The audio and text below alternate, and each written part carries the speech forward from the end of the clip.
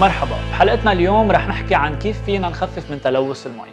لازم نعرف إنه تلوث المي بيأذي الكل والدولة مش هي بس وحدها المسؤولة.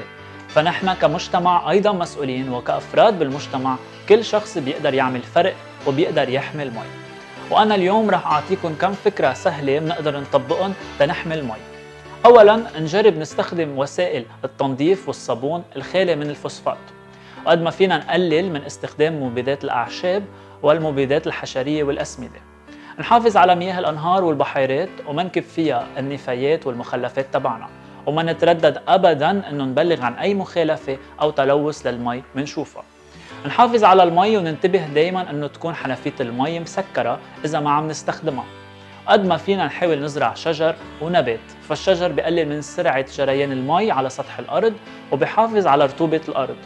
وما نستعمل أبدا البلاستيك وقد ما فينا نستبدله بالكيس القماش أو بالأناني الإزاز يلي ممكن تستعمل أكثر من مرة.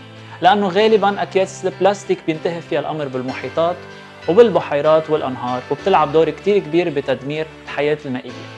وأنا بآخر هالحلقة بدي أقول لكم إنه المي مسؤوليتنا كلنا live right وحافظوا عليها.